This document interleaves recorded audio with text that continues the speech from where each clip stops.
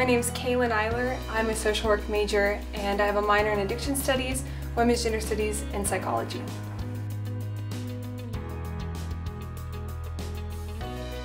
I just put effort into it. I really care about my grades because I think in the future with whatever I'm employed with, I think when you put effort into it and you do your best, those are the kind of people people will want to hire and you would be more effective in your field.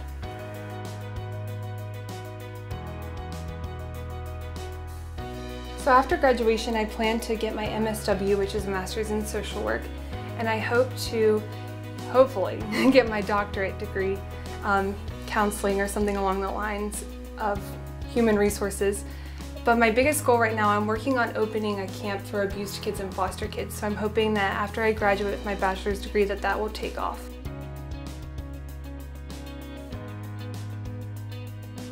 It's very, very humbling and I'm just so proud that somebody noticed the light inside of me and that they can see my potential and hopefully that it made an impact in their lives.